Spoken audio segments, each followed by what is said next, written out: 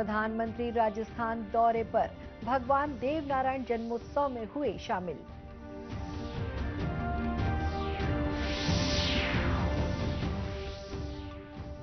G twenty समूह की दो दिवसीय स्टार्टअप ट्वेंटी बैठक हैदराबाद में शुरू।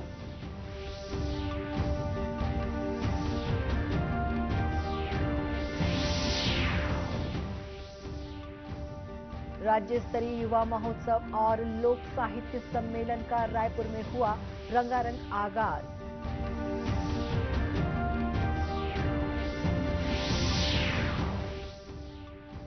और प्रधानमंत्री कल मन की बात कार्यक्रम में देश विदेश के श्रोताओं के साथ करेंगे अपने विचार साझा।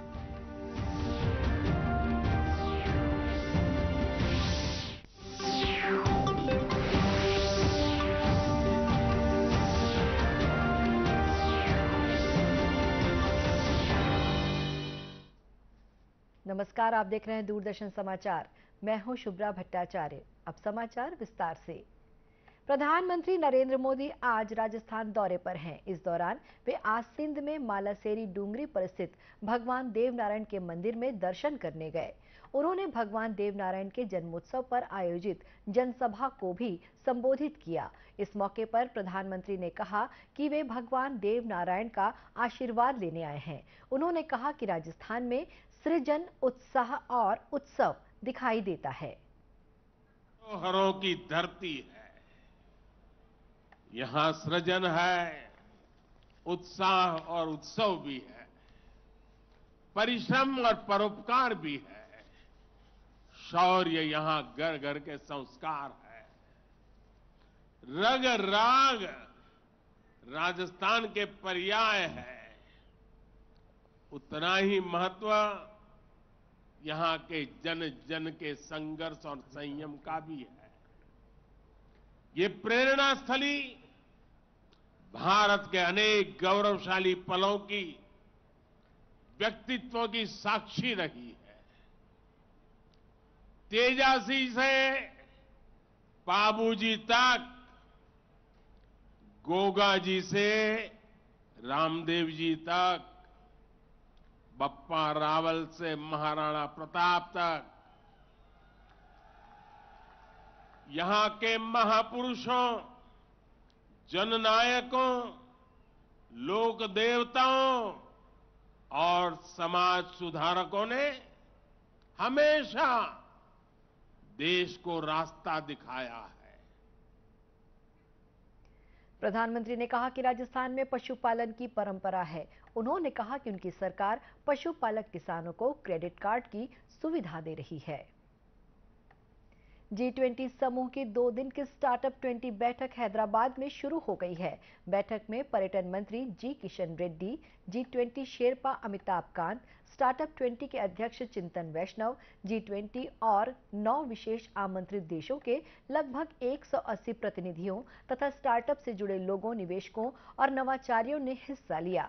पर्यटन मंत्री जी किशन रेड्डी ने प्रतिनिधियों से भारत के विशेषकर सांस्कृतिक महत्व के पर्यटन स्थलों की यात्रा करने का अनुरोध किया। उन्होंने कहा कि वर्ष 2016 में लगभग 250 स्टार्टअप ही थे, लेकिन प्रधानमंत्री नरेंद्र मोदी के दृष्टिकोण के कारण अब इनकी संख्या बढ़कर नब्बे हज़ार से अधिक हो गई है।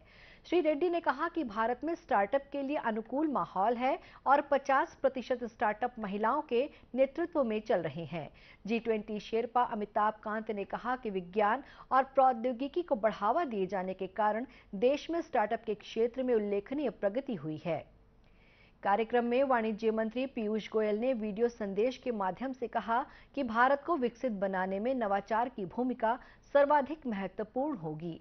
उन्होंने कहा कि नवाचार ही आर्थिक और सामाजिक विकास का आधार होगा और अब देश के कई क्षेत्रों में स्टार्टअप की संख्या काफ़ी बढ़ गई है।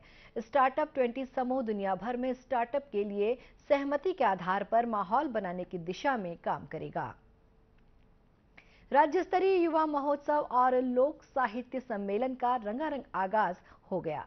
मुख्यमंत्री भूपेश बघेल के संदेश के साथ स्कूल शिक्षा मंत्री डॉक्टर प्रेमसाय सिंह टेकाम ने दीप प्रज्वलित कर महोत्सव का शुभारंभ किया। इस मौके पर युवा कल्याण एवं खेल मंत्री उमेश पटेल और महिला बाल विकास मंत्री अनिला भेंडिया मौजूद थीं। शुभारंभ समारोह में राज्य गीत अरपा पैरी के धार की प्रस्तुति दी गई। साथ ही छत्तीसगढ़ी लोकगीत और लोक नृत्य, कर्मा, राउत नाचा, पंथी, सरहुल, सुवा, बस्तरिया नृत्य की आकर्षक प्रस्तुति भी युवा महोत्सव में देखने को मिल रही है।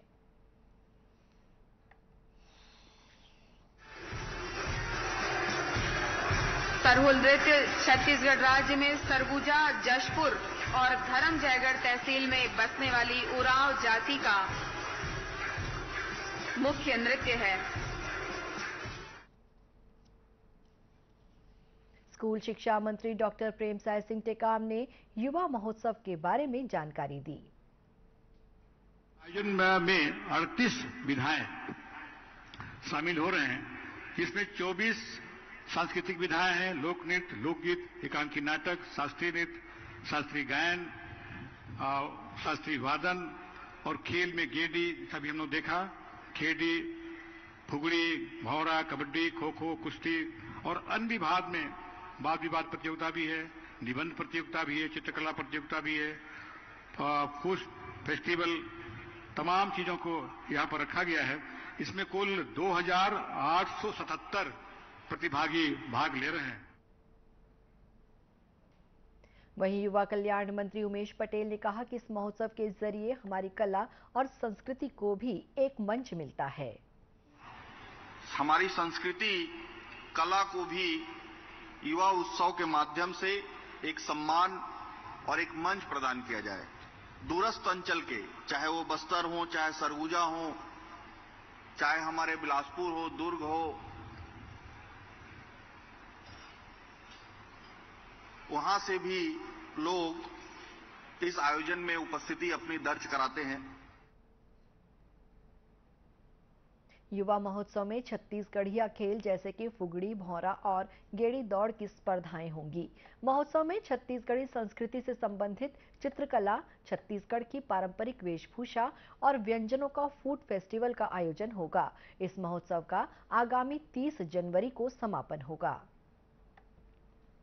आकाशवाणी ने मन की बात कार्यक्रम की सौवीं कड़ी के लिए प्रतीक चिन्ह बनाने की प्रतियोगिता शुरू की है। श्रोता इस कार्यक्रम के लिए प्रविष्टि एक फरवरी तक भेज सकते हैं। प्रतियोगिता के लिए तैयार किया गया डिजिटल प्रतीक चिन्ह ऐसा होना चाहिए, जिसका उपयोग किसी भी प्लेटफॉर्म पर किया जा सके। विजेता को पुरस्कार स्वरूप एक लाख रुपए दिए जाएँगे। प्रतियोगिता संबंधी विवरण माई पर उपलब्ध है। गौरतलब है कि प्रधानमंत्री नरेंद्र मोदी कल सुबह 11 बजे आकाशवाणी से मन की बात कार्यक्रम में देश विदेश के श्रोताओं के साथ अपने विचार साझा करेंगे। ये इस मासिक कार्यक्रम की संतानवी और इस वर्ष की पहली कड़ी होगी। अखिल भारतीय विद्यार्थी परिषद ने राजनांदगांव में गर्जना छात्र सम्मेलन का आयोजन किया। कार्यक्रम में अखिल भारतीय विद्यार्थी परिषद के प्रदेश अध्यक्ष मनोज वैष्णव ने बताया कि परिषद के 75 साल पूरे होने के उपलक्ष्य में ये आयोजन किया जा रहा है।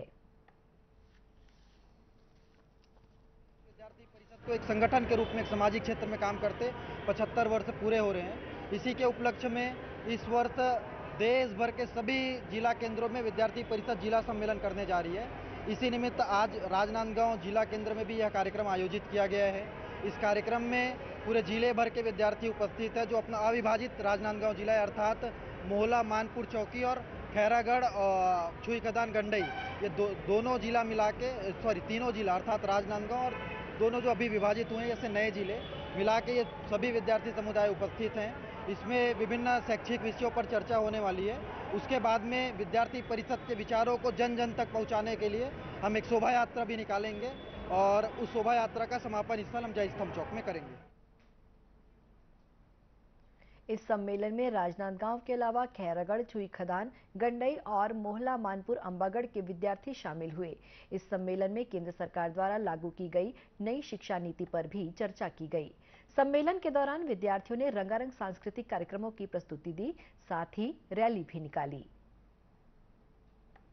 कोरिया ज़िले में स्थित गुरु घासीदास राष्ट्रीय उद्यान में देश भर के राष्ट्रीय स्तर के ट्रैकर और पर्यटक पहुँच रहे हैं।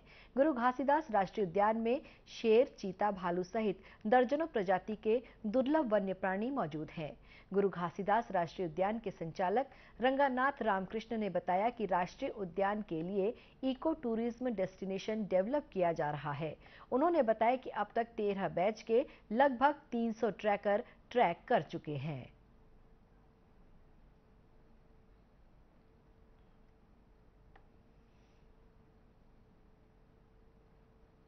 पहला ऐसा ट्रैक है जो एक नेशनल पार्क में कर रहे हैं और इसमें अभी तक तेरह बैच हो चुके हैं, जिसमें लगभग 300 लोग इस साल में आ चुके हैं। मतलब दिसंबर 15 से लेके अभी जनवरी 28 तक लगभग 300 लोग पहुँच चुके हैं और ये पूरे देश का विदेश से भी चार पाँच लोग आ चुके हैं। तो इसका मेजर ये है कि जो लोग सॉफ्टवेयर में रहते हैं, अर्बन एरियाज़ में रहते हैं, वो लोग अपने यहाँ पे आएँगे तो उनको जंगल का फील होगा, यहाँ के ट्राइबल लाइफस्टाइल का फील होगा, यहाँ पे जैसे जानवर होंगे, उनके प्रति उनका रुचि होगा स्पेशली बहुत सारे बच्चे भी आ रहे हैं। तो छोटे बच्चे जब ऐसे जंगल में आते हैं तो उनको ये भाव आगे आ जाता है कि हमें प्रकृति को बचाना है, प्रकृति का रक्षा करना है और उसका देखभाल भी करना है। और जो भी ये है, ये पूरा ज़ीरो वेस्ट वाला ट्रैक्स है। मतलब कुछ भी यहाँ पे ना प्लास्टिक है, ना कोई वेस्ट है। जो भी जनरेट होता है, सब पूरा यहाँ के, बल्कि यहाँ पे जितना कचरा वगैरह जो भी रहते हैं ट्रैक के पाथ्स वगैरह में, वो भी ट्रैकर्स कलेक्ट करके अच्छे तरीके से डिस्पोज यहाँ राष्ट्रीय स्तर के ट्रैकर आ रहे हैं। सभी का अपना अलग अनुभव है। लोग हिमालयन ट्रैक्स काफ़ी किए हुए हैं। तो जब यहाँ का छत्तीसगढ़ का जंगल ट्रैक के बारे में पता चला था तो एक डिफरेंट एक्सपीरियंस लेने हम लोग आए थे। काफ़ी घने जंगल है। छोटे मोटे जानवर भी हम लोग को मिले सांप मिल गया बिच्छू मिल गया सो ऑन सो फोर्थ तो एक्चुअली थोड़ा सा ईजी भी है और मज़ा भी आ रहा है। हाँ। ठंड नहीं है बहुत पहाड़ नहीं चढ़ना पड़ रहा है। तो मज़ा आ रहा है। ये बहुत डिफरेंट है क्योंकि मुझे वाइल्ड लाइफ देखना था पेड़ों के साथ रहना था। लोगों से मिलना था तो फिर बहुत अच्छा लग रहा है। कैंप हमने खुद लगाए हैं और मतलब वही है कि एक्सपेक्टेशन रहता है कि कभी कोई जानवर हमें दिख जाए, दूर से दिख जाए, क्योंकि पास तो नहीं आएँगे हमारे। तो वही है और चल रहे हैं हम सब साथ एज अ फैमिली इस तरह गुरु घासीदास राष्ट्रीय उद्यान देश का ऐसा राष्ट्रीय उद्यान बन गया है, जहाँ ट्रैकिंग की व्यवस्था है। अंत में मुख्य समाचार एक बार फिर से। प्रधानमंत्री राजस्थान दौरे पर, भगवान देवनारायण जन्मोत्सव में हुए शामिल।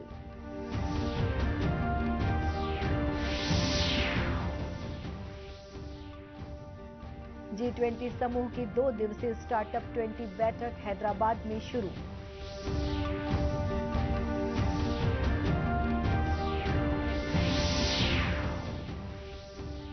राज्य स्तरीय युवा महोत्सव और लोक साहित्य सम्मेलन का रायपुर में हुआ रंगारंग आगाज़।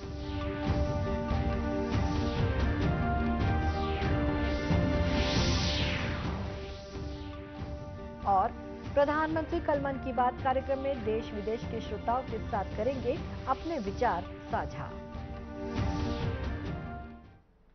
इसी के साथ ये समाचार बुलेटिन समाप्त हुआ। नमस्कार।